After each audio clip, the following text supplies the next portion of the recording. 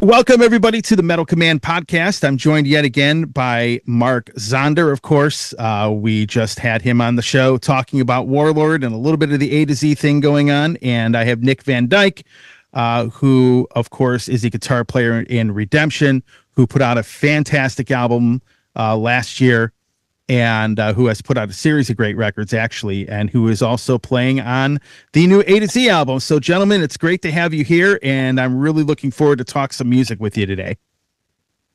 Well thanks for having us tony. Great to be here tony.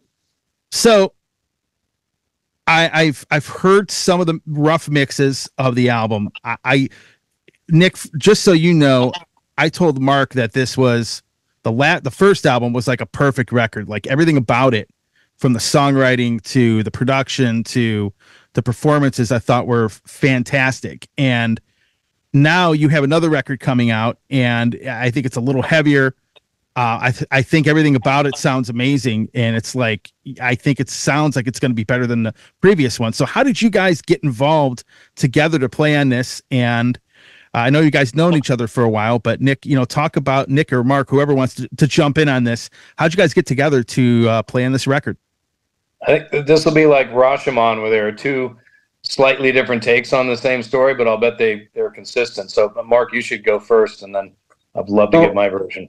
Okay. Uh, well, basically, you know, I did the first record. It was one of those things. You know, we we've talked, Tony. We've done the interview for that one too, and it basically, you know, it was it's, it's like my idea. I mean, it's like I got to that point where I played in enough bands, and not that I wasn't I was told what to do, but there's certain things I wanted to do and I couldn't do them because you know it's a group and everybody has a say or there's another leader. So when I started this, I had you know very very distinct ideas, and we did the first record. I hook up with guys. I was very transparent, saying, hey, this is what I want to do. Everything worked out great. And then basically what happens is the record comes out and long story short is they don't want to go out and play it live, which was kind of funny because when we got together in the beginning, I said, "Hey, this isn't a project. You know, I want to have a band. I want to go play this music live. We're going to go do this." So basically, they disappear for three or four months, and I just said to myself, "I can't sit here and be held hostage by these guys. No response whatsoever. You know, they have a record that charted. They probably have more Facebook hits and posts than they ever had in their life. Everybody got paid. It was." I don't understand the problem. I was very open. Um, tried to get in touch with it, just nothing, you know, zero. So I said, I can't, I can't wait for this. So I started to go out and finding other people to write with, and nothing was really coming across too much, and it just wasn't really happening. But I knew I couldn't just sit here. So me and Nick, you know, we go to see Kansas, and you know, where it, it rolls around where, hey, you know, hey, why don't we start writing music together? Nothing to do with A through Z. Just let's start writing music together. Let's see what we can come up with. You know, we talked about it for what, 30 years or something, or yep. you know, something something crazy. Um, and so we start writing. Everything's great. It's really really cool. And then moving right ahead, there's the heavy metal Hall of Fame induction with Chris Impellitteri and Lou Gramm, and I'm playing with um, Chris just like three songs or whatever.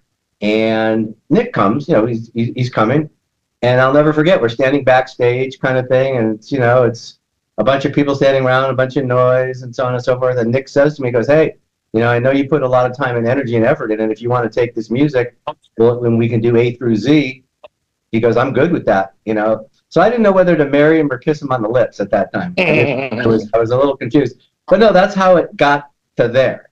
We didn't start off going, hey Nick, let's go do A through Z. Just kind of started, kind of just Nick and I, and see where it was going to go. And then when he said that, uh, I thought it was a beautiful thing. It really.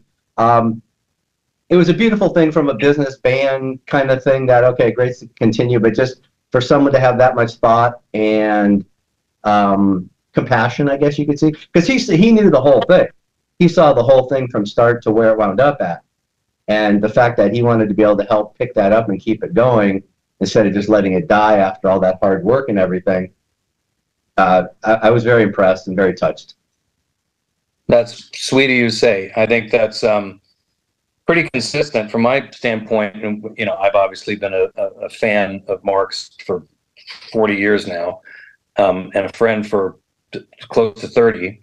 Um, so the opportunity to work with Mark has always been something that I wanted to do. And we did go to that Kansas show and talking about how there there aren't that many bands making music that is not so progressive that it's trying to force it down your throat, but is a little bit more interesting and know sort of tweaks the normal formula. And he's like, "Why don't you want to do something like this?" And like, I'd love to do that. So we started working on some stuff and started vibing immediately. And then we did go to the show. And look, I uh, I was not involved in uh, the the first A to Z record, obviously. Um, and I, I I don't know, you know, I, I know Viv, I don't know you, and obviously great players. So I didn't have any vested interest in any of that. But I know that Mark had said he had parted ways, and we were talking about working on music, and I I was aware of how much time and effort he had put into into building that momentum. I'm like, you know, look, I if if you want to call whatever we're working on the next A to Z record, I got I, I'd love to do that. Whatever you want to do with it is great with me. I'm just happy to be working with you. And so, Mark, who has been the the father of this project, and by the way, who has frankly like constantly tried to talk down how responsible he is for this, and is so inclusive and so happy to work with others and so happy to take their ideas, but really puts his heart and soul into this. So it's it's just a privilege to be involved, and I'm incredibly gratified that uh, it's turned out as well as it has, and, and most importantly that Mark is one of my musical heroes, is as excited about it as I am. I would agree because I he, when I when I heard some of the rough mixes, you know, there are bands that send me stuff a lot that will say, "Hey, what do you think of this song?" or "What do you think of this mix?" And I could hear, you know, the cool thing was, Nick, I could hear some of your style in, in some of this music, but it didn't like I didn't listen to it and think, man, it sounds exactly like Redemption. And I and I say that because Ray Alder is singing on it. He was in Redemption for for quite a few records, obviously, and but it didn't sound like that. You know, it, it it's it funny. sounded- I I tried specifically to write a little bit differently. Look, this is this is meant to be like really you know accessible, hook driven, great you know beefy like journey on steroids. Great you know just great songwriting with hooks. And there are a couple of times when I'm like, eh, there's a little bit of redemption in this bridge, or there's a little bit of redemption in this verse, but it's still it never really tipped over into you know the I wanted to keep a fairly clean line, but it's still I write the way I write. And what's neat about this is the the give and take between Mark, who's this is this is an album, and I, I don't want to speak for Mark, who has a, a probably better handle on the creative vision than me. This is a lot about groove and there's you know there's groove and redemption too but this is really about accessibility and mark's drumming and his long-standing collaboration with philip bynoe who's an incredible bass player and the the way that and you know ray contributed lyrics and and melodies so it's going to sound a little bit different than uh, the, the way i would write for redemption but the give and take between me sending mark ideas or him sending me ideas and then going back and, and reworking that until it gets really dialed in was a new and really cool experience for me, and I think it shows in the songs. No, absolutely. The, the really funny story is the very, very, very first song that Nick sent me, as I remember, um, wound up being the quote most progressive on the record. And it was like we started there, and, and I tried to apply my touch to it to kind of bring it in. You know, there were sevens and fives, and it was kind of okay, let's make these tens and 14s so it's going to groove and everybody can follow it. But it seemed, I think, it was weird because in a good way that after we kind of got that thing going, everything that Nick sent me after that, he kind of not adapted and changed, but he got it. He got okay. We're we're, we're let's go this way.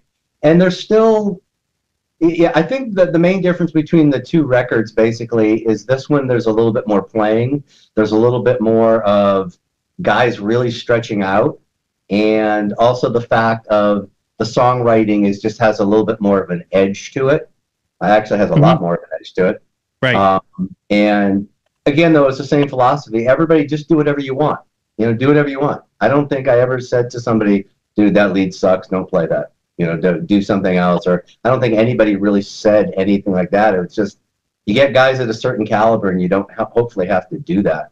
hmm Uh, and, There, and there was there was like an unspoken like I would send a, a, a demo to Mark. He would come back and and the groove on the drums might be a little bit different, or he would play some really cool invented stuff, and I'd be like, oh, I get it, and then I would redo a little bit of the guitar to sort of be lockstep with what's happening on the drums, and the bass is, of course, completely dialed in.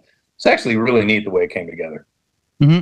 I, again, I think it really, really proves, and it's something that you know you can put on my headstones. But when you're working with pros, it's easy, and when you're not, and all you need is one guy in a band that doesn't hold up his little thing, Mhm. and, and it feels like you're just grinding it out on a on a train track and going nowhere.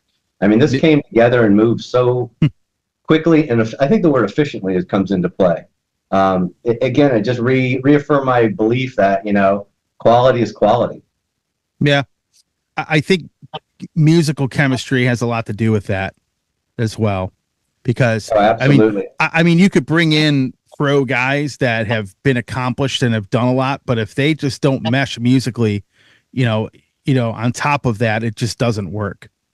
Well, what happened in between getting together with Nick is, you know, I, I I wrote with some guys, you know, big name guys, you know, little name guys. No, there's no Ritchie Blackmore involved, but like guys that, you know, but the thing that the difference was is Nick paired kind of like what the drums were doing and what the vision was. It wasn't like, hey, here's my part. If you like it, great, and if you don't, that's okay too. And Mhm. I'm going to go on and do whatever. It everybody kind of bought in, and I know that's a, I hate that expression, but everybody bought into it, and it wasn't like, hey man, I need to have my this, and I need to have my lead and my bass solo or whatever.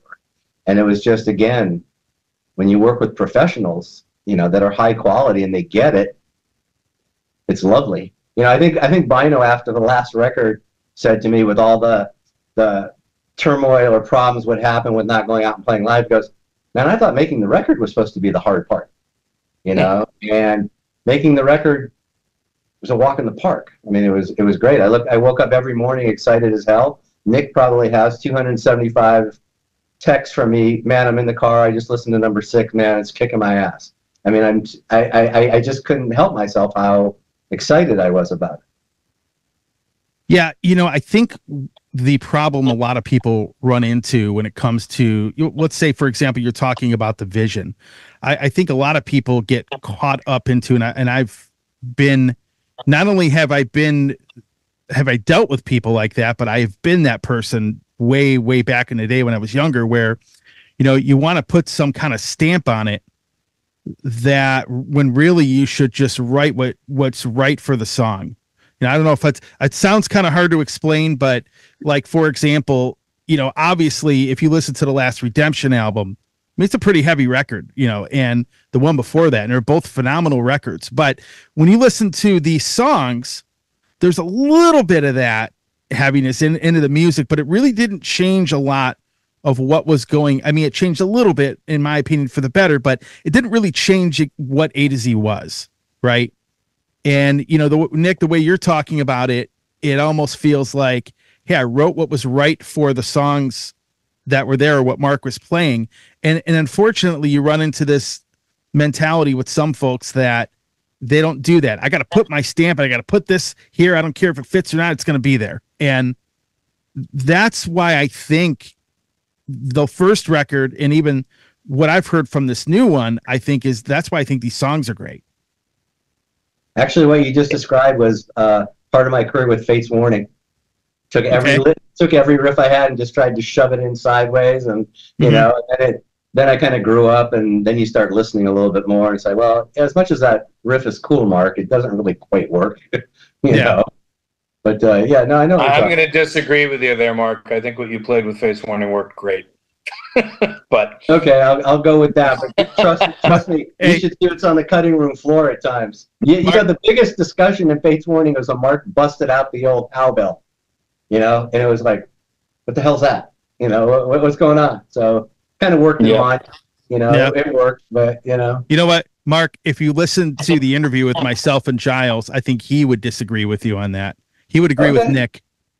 okay, okay. although we, we had our cowbell moment on this record too, so Oh, oh, dude, I got nine of them. I got to use it. You know, they were, they were talking to me in my sleep. You know, it's like play me, play me. Well, that really actually goes back to Warlord and Lucifer's Hammer. That's like that.